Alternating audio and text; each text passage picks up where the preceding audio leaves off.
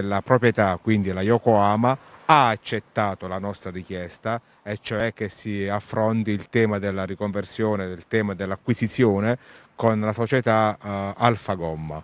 La scelta non era scontata ma era nell'aria anche alla luce del piano industriale che prevede importanti investimenti su lavoro e nuove produzioni. Sarà dunque la multinazionale lombarda del settore dell'oleodinamica Alfagomma a proseguire la trattativa di cessione dello stabilimento ortonese della Yokohama, destinato a diventare il terzo insediamento in Abruzzo dopo quelli nel Teramano.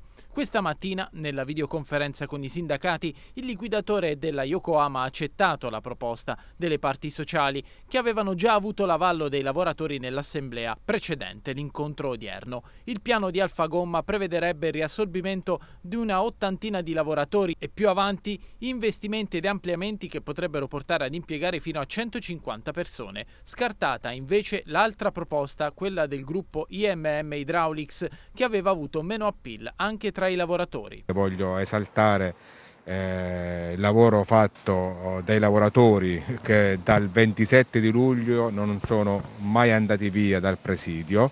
Sicuramente è stato importante il confronto, il confronto sereno che ha avuto con questa società, con, con il liquidatore, sicuramente eh, tutti fattori che hanno portato, ovviamente senza demagogia è importante che l'impresa una volta fiutato la, la, professionalità e il prodotto che si faceva, l'impresa è un fattore importante affinché possa investire. Senza l'impresa ovviamente non avevamo diciamo, futuro. Ma questo però lo voglio dire anche tenendo conto e auspicando anche eh, di continuare a lottare ai lavoratori della Bed Fence, eh, che è molto importante e che comunque sta sempre nei nostri pensieri perché è una vertenza iniziata insieme.